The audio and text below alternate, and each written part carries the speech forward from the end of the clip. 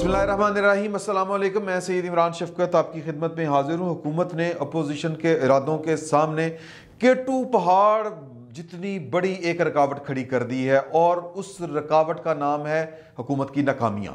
हुकूमत की नाकामी को अगर सादा अल्फाज में तशरी करें तो ये आपके लिए एक बहुत बुरी खबर है, क्योंकि पाकिस्तान की तारीख में पाकिस्तान के अवाम के साथ इतनी बड़ी खलवाड़ कह लें और इतनी बड़ी जुल्म ज़्यादती कभी नहीं हुई जितनी बड़ी बड़ा जुल्म और ज़्यादती हुकूमत ने आईएमएफ के साथ माहा करके कर दिया है। मतलब जितना बड़ा जुल्म इस कौम के साथ कर दिया है और इस माहे का बोझ पाकिस्तान की अपोजिशन उठाने के लिए तैयार नहीं है क्योंकि हुकूमत ने माहा कर लिया है और निभाना रियासत को पड़ेगा। कोई भी हुकूमत आए उसको इस माहे के को, को लेकर चलना पड़ेगा। तीन साल माहा है। और इसकी मंजूरी होनी है। और ये स्टाफ लेवल का, पहले तो बात ये सुनने की कितनी अफसोसनाक बात है कि आप कर्ज लेने के लिए जा भी रहे हैं साहूकार के पास तो साहूकार ने अपने मुंशियों के आगे आपको डा दिया है। यानी कि स्टाफ लेवल के मुजाकर हुए आई एम एफ़ के साथ और हुकूमत जनाब छलांगे मारती हुई कह रही है कि मुबारक हो मुबारक हो, कामयाबी होगी कामयाबी होगी और उसकी अगर आप तफसील देखें तो ये मुबारक नहीं है, ये पाकिस्तान के लिए और पाकिस्तान के अवाम के लिए बहुत बड़ी जहमत है और इस जहमत को दो आदशाह कर देता है वो इरादा जो अपोजिशन का अब डामाडोल होगा। क्यों? मैंने जिस तरह पहले आपको बताया कि इस माहे का बोझ और ये माहा दरअसल इमरान खान साहब की हुकूमत की एक, जिसको कहते हैं ना, बड़ी जिसको, क्या उसको कहा जाए कि सरीहन बे, सरीहन उरिया कह लें। मुकम्मल उरिया वो नाकामी है। तो इस नाकामी का हाल ये है कि, अब गौर से सुने कि हुकूमत ने ये माहा कर लिया है, पाँच पॉइंट उस पर बड़े अहम हैं। और उसके असरात आपके ऊपर क्या निकलने हैं, आपकी जेबों के ऊपर क्या निकलने हैं, हम आवाम के ऊपर। इसका अंदाज़ा भी आपको खुद हो जाएगा ये बातें सुन के। पहली बात कि जितनी इस्तना थे टैक्स की मद में, सेल्स टैक्स की मद में या टैक्स की मद में, वो आईएमएफ ने कहा है, आईएमएफ के स्टाफ लेवल के वफ्त ने कहा है, जिसके साथ हुकूमत ने साइन कर दिया है, ओके कर दिया है। कि हम मानने के तैयार हैं, वो कहते हैं कि ये इस्तना आपको ख़त्म करना है। जो छूट थी टैक्सों में, सबसे बड़ी छूट किसको थी? किसान को थी। एग्रीकल्चर, जिसको हम ज़रात कहते हैं, उसको थी, क्योंकि हमने अपने किसान को बचाना था और कोशिश करनी थी कि हम अपना उगाएँ, अपना खाएँ, लेकिन टैक्स इतने लग जाने हैं कि किसान के पल्ले कख नहीं रहना। और ये टैक्स मिनिमम पच्चीस पच्चीस परसेंट टैक्स होगा, यानी सौ रुपये में से पच्चीस रुपये आईएमएफ की जेब में जाएगा। हुकूमत, या हुकूमत की जेब में जाएगा, या आईएमएफ की जेब में जाएगा। ज़ाहिर है कि वन पॉइंट एक कितना जी? एक अरब पाँच करोड़ नब्बे लाख डॉलर। आप जब लेंगे आईएमएफ से तो उसने कह, उसने कहना कि जी, ये वापस किस तरह आपने करने हैं? तो वो वापस जो साहूकार होता है, वो बनिया जो होता है, वो कर्ज वापस लेने के लिए फिर कहता है कि ये ये काम करोगे तो मैं तुम्हें कर्ज दूँगा, ताकि वापस आने की उम्मीद हो। तो ये उन्होंने तरीका इख्तियार किया। अब होगा ये कि किसान जो कुछ पैदा करेगा, उसके ऊपर जो टैक्स लगेगा, वो 25 परसेंट होगा एक फ़सल के ऊपर, जिस उशर के बराबर होगा। और वो 25 परसेंट होगा। अब किसान का हाल क्या होगा? किसान पहले किन हालों में है? अभी वो गंदम और वो उसके चक्कर में चलें, सिंध ने तो उसकी कीमत बढ़ा के, इमदादी कीमत थोड़ा सा गंदम की, कुछ सपोर्ट करने की कोशिश तो की है, लेकिन आईएमएफ के हाथों, इमरान खान साहब की हुकूमत अब मजबूर होगी, या ये मजबूरी खुद ही सेड़ी हुई है वरना वो तो कहते थे कि मैं जनाब खुदकुशी कर लूँगा। बहरहाल, अगला पॉइंट आ जाए कि उनकी दूसरी शर्त ये है कि हजूर आला, ये जो आपने गैस और बिजली की कीमतें कम रखी हुई हैं, अभी ये कीमतें आईएमएफ की नज़र में कम हैं। तो इनको आपने बढ़ाना है साढ़े चार रुपये फ़ी यूनिट साढ़े चार रुपये फ़ी यूनिट के ऊपर जब टैक्स लगेंगे, क्योंकि साथ उन्होंने कह दिया कि टैक्स का इस्तना नहीं आपने देना। टैक्स की छूट नहीं देनी। तो आप ये कीमत हो जाएगी जनाब नौ रुपये डबल हो जाएगी। क्योंकि जब टैक्स लगेंगे तो हुकूमत के वो कीमत मुकर है कितनी? साढ़े चार रुपये टैक्स लग के वो डबल हो जानी है। तो आप का एक यूनिट जो है वो नौ रुपये मज़ीद महँगा हो जाएगा। मज़ीद महँगा। अभी मेरा ख्याल सताईस, अट्ठाईस रुपये या इससे थोड़ा सा ज़्यादा है। अक्टूबर में तो इससे भी ज़्यादा उन्होंने कर दिया था। तो ये भी आपके लिए एक बुरी खबर है। आप खुद अंदाज़ा लगा लें कि आपके बिल जितने आ रहे थे, उनमें नौ रुपये पर यूनिट टैक्स का इजाफा हो जाना, नौ रुपये पर यूनिट का इजाफा हो जाना है। तो बिल कहाँ पर जाएगा? वो मैं इसके बारे में मुझे बताते हुए हॉल पड़ रहे हैं। ये उस एसी, उसी गर्मियों में ये भूल जाएँ आप कि आप एसी चला सकेंगे और खसूस पाकिस्तान की मिडिल क्लास। मिडिल क्लास को तो मेरा ख्याल है कि तबाह बर्बाद करने का फैसला कर लिया या ऑटोमेटिकली हो जानी है, फैसला ना भी किया हो मिडिल क्लास कौन सी होती है? आपको अंदाज़ा ही है, पाकिस्तान में मिडिल क्लास वैसे ही वो श्रिंक हो रही थी हमारी पॉलिसीज़ की वजह से। अब ये जो टैक्स और जो आईएमएफ के साथ माहा है, इससे और श्रिंक हो जानी है क्लास एक अपसलीट हो जानी है, ख़त्म हो जानी है। तो यानी जो मिडिल क्लास ये थे, वो लोअर मिडिल क्लास में और जो लोअर मिडिल क्लास में थे, वो ख़त, गुर्बत से नीचे जाएँगे। और ये बहुत बड़ा अजाब होता है किसी भी सोसाइटी के लिए। इंडिया की आज जो इकानमी ग्रो कर रही है, बांग्लादेश की, वहाँ पर मर्ज हुई है पाकिस्तान, यानी वहाँ की मिडिल क्लास और मिडिल क्लास जो होती है, वो किसी भी सोसाइटी या किसी भी माशरे, किसी भी रियासत को बैलेंस करती है।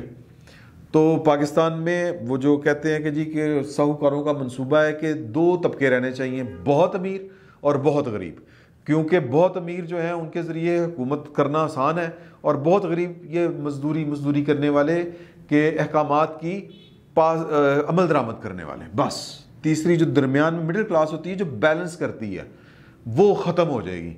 अच्छा अग, अग, आगे आ जाएँ। आगे ये है कि जी के इन्होंने कहा कि जी के पेट्रोल के रेट बड़े घट ने टाडे। पेट्रोल के रेट भी जो है वो वन डॉलर पे आपको पहले भी याद होगा कि ये जो अंदरून खाना माहा है, ये वन डॉलर का माहा है। वन डॉलर क्या है कि जी पेट्रोल की कीमत वन डॉलर कम अज़ कम होनी चाहिए फ़ी लीटर। तो इस वक्त एक सौ छियालीस रुपये फ़ी लीटर है। तो हुकूमत ने ये फ़ैसला किया है, ई एम एफ़ के साथ तय पाने वाले माहे की रोशनी में कि हर पंद्रह यानी पंद्रह, हर पंद्रह दिन बाद चार रुपये पेट्रोल की कीमत बढ़ाई जाएगी और एक साल में तीस रुपये बढ़ा के टोटल कीमत यानी इजाफा हो जाएगा लेविस टैक्स की मद में। तो ये कीमत एक सौ पचहत्तर रुपये छिहत्तर रुपये तक पहुँच जाएगी। यानी एक सौ छियालीस में तीस रुपये जमा करें, एक सौ छिहत्तर रुपये इतने का डॉलर है। आईएमएफ के साथ जो माहा तय पाया इसमें और ट्विस्ट है। एक और बड़ा खौफनाक ट्विस्ट है। और वो ट्विस्ट है एनडीएमए से मुतलिक है कि आईएमएफ ने जिन दिनों सस्पेंड रहा कोरोना की वजह से तो उन्होंने आईएमएफ की मैं बात कर रहा हूँ। बाकी जो वर्ल्ड बैंक ने और जो दीगर जो इदारे थे W T O world health organization W H O उन्होंने भी इमदाद दी थी, उसकी बात नहीं कर रहा। खालिस्तान आईएमएफ की मैं बात कर रहा हूँ और वो थोड़ी थी बाकियों के मुकाबले में। उन्होंने जो पाकिस्तान को कोरोना की मद में इमदाद थी, वो उसका ऑडिट मांग रहे थे। और ये उन दोनों की बात है, जब इन्होंने ऑडिट रिपोर्ट नहीं दी थी तो वो माहा या जो मुजाकर थे, वो मनसूख हो गए थे या मुअत्तल कर दिए थे कि उन्होंने डिले कर दिए थे कि नहीं, पहले वो रिपोर्ट लेके आए, फिर वो जो पाकिस्तान में आईएमएफ की नुमाइंदा थी, खातून, उन्होंने जाके ऑडिटर जनरल पाकिस्तान से रबता किया था क्योंकि एन डी एम ए के जनरल अफसल साहब हैं, उन्होंने मोटे, वो उन्होंने मेरे, मुझसे भी ज़्यादा बड़ा पेट था उनका, हुए जनरल लेफ्टिनेंट थे एडा डटेड, बड़ी अजीब बात है तो वो उन्होंने रसीदें खाली, रसीदें नहीं दी थी बस बता दिया था जी, एन अरब रुपये जो है वो कोरोना की मद में खर्च हो गए। तो ऑडिटर जनरल पाकिस्तान ने कहा, हजूर, इस तरह काम नहीं चलता। ये रसीदें पता नहीं कहाँ कहाँ जाके दिखानी हैं, ये खाते सीधे करें, हमें रसीदें दें। रसीदें देने से वो इनकार कर रहे थे। आईएमएफ ने जब मुजाकर मुअत्तल किए गवर्नर स्टेट बैंक, जब लंदन चले गए थे, अगर आपको याद हो और पाकिस्तान इंडिया का मैच हो रहा था तो शौकत तरीन साहब वहाँ से उठ के अमेरिका से सऊदी अरब आए थे और वहाँ पर वो मैच जो देख रहे थे ना, सोफे पे बैठ के, वो वाला मैच उन्होंने वहाँ पर देखा था। तो एन उस वक़्त ऑडिटर जनरल से पाकिस्तान में आईएमएफ की जो नुमाइंदा हैं, वो मुलाकात करके पूछ रही थी कि आपने जो एतराज़ात लगाए थे, उस रिपोर्ट में जो कोरोना की मद में तफसीलात आपको दी गई थी, वो एतराज़ात क्या दूर किए गए हैं? तो ऑडिटर जनरल ने कह दिया था कि नहीं दूर किए गए। तो अब वो रिपोर्ट भी इनको पेश करनी है। समझ आई जी? क्योंकि जब तक वो रिपोर्ट पेश नहीं करेंगे तब तक अगला जो फंड है वो रिलीज़ नहीं किया जाएगा, एक अरब पाँच करोड़ नब्बे लाख डॉलर का। और वो भी अभी मंजूरी होनी है जो इनका एग्जैक्टिव बोर्ड है आईएमएफ का। तो पाकिस्तान के जो कह लें कि बड़े बड़े अफसर हैं, उन्होंने, या पाकिस्तान की ब्यूरोक्रेसी कह लें, पाकिस्तान की जो भी इसको इस्टेब्लिशमेंट कह लें, जो भी आप कहना चाहते हैं, यानी कि सर्विस ऑफ़ पाकिस्तान से ताल्लुक़ रखने वाले लोगों ने अन्य वादी लगाई। कोरोना में आने वाले फंड्स की जो एहतियात आए थे यानी कि अतियात में भी बहुत बड़ी दिहाड़ी। सुप्रीम कोर्ट में वो कोरोना के मामले पर के, जो सुमोटो केस की समात हुई थी आपको याद होगा कि एन एनडीएमए जो है नेशनल डिज़ास्टर मैनेजमेंट वो जो भी है इदारा उन्होंने सुप्रीम कोर्ट में पेश होकर बताया था कि कोरोना के हर पेशेंट के ऊपर यानी फ़ी कस पच्चीस लाख रुपए हमारा खर्च आया है। तो जजों ने सर पकड़ लिया था कि यार पैनाडॉल और वो क्या कहते हैं, इस तरह की चंद गोलियाँ खिला के और सड़ी हुई रोटियाँ खिला के आपने एक मरीज़ के खाते में पच्चीस लाख रुपए डाल दिए। तो ये ज़ाहिर है कि पाकिस्तान में तो आप किसी को जवाब दे हैं नहीं। पाकिस्तान के लोगों को जवाब दे नहीं पाकिस्तान की पार्लियामेंट को जवाब दे नहीं लेकिन दुनिया जो है वो रोटी नू चोची नहीं कहती उसको आपकी करतूतों का भी पता है, इसलिए उन्होंने मांगा हुआ है आपसे हिसाब। अब पता नहीं वो जाली जुली रसीदें इकट्ठी करके दे दी होंगी। मेरा ख्याल है जब वो अपना ऑडिट करवाएँगे, आज नहीं तो कल, ये लेने के देने पड़ जाएँगे। तो अब आ जाते हैं कि ये जो डिज़ास्टर या ये जो क़यामत पाकिस्तान के अवाम के ऊपर गिरने वाली है इसमें कोई पाकिस्तान के जो अवाम है, उनका हाथ पकड़ने के लिए, कोई वाली वारस बनने के लिए तैयार नहीं है।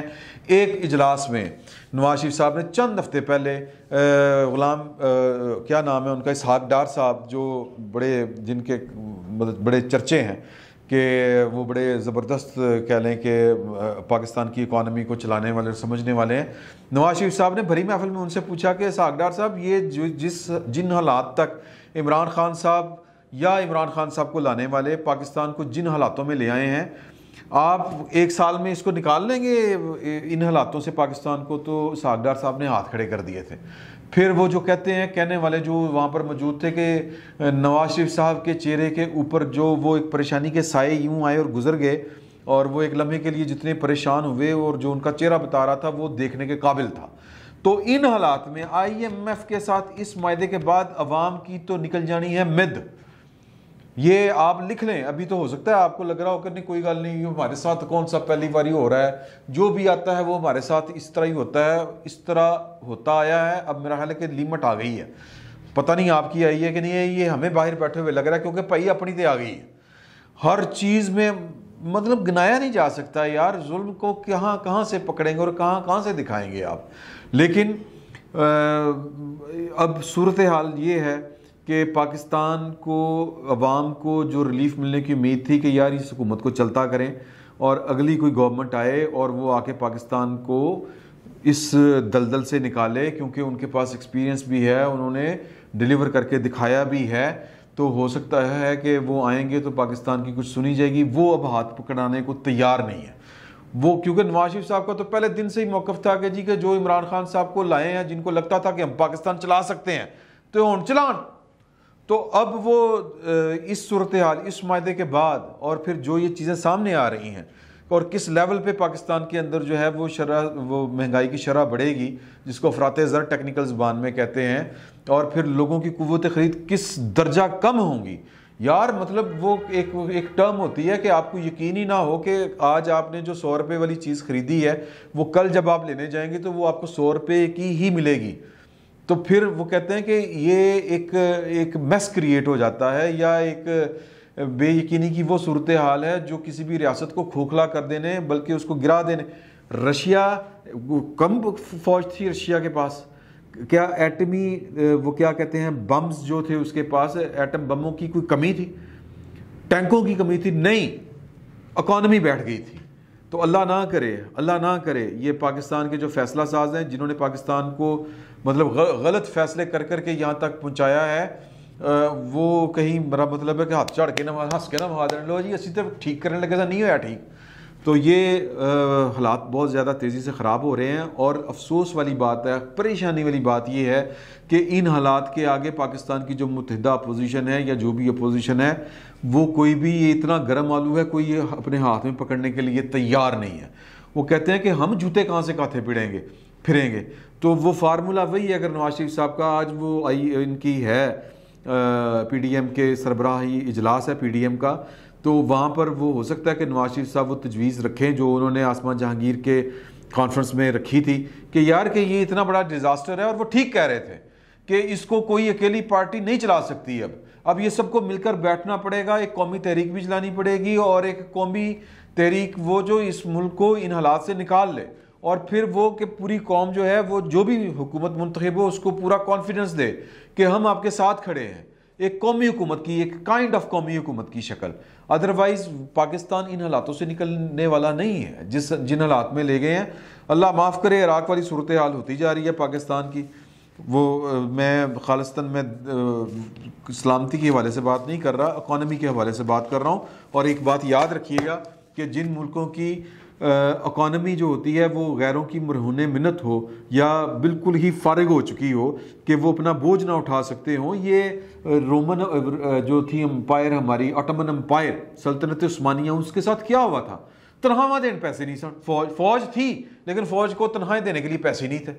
तो इकॉनमी का पाकिस्तान का यही हाल हो चुका है और अल्लाह ना करे कि पाकिस्तान की सलामती को कोई मसला हो और जिन कौमों को मैंने जिस तरह आपको मिसाल दी ऑटमन अम्पायर की, सल्तनत स्मानिया की, कि वो अपने इकॉनमी की वजह से बैठी। तो जिन लोगों की इकानमी बैठती है, उनकी कौमी सलामती भी फारिग हो जाती है। तो जिनको बड़ा शौक था कि जनाब के मैंने इकॉनमी चलानी है, वो जनाब हूँ मज़े लैन। फिल वक्त इतना ही बहुत बहुत शुक्रिया आपका।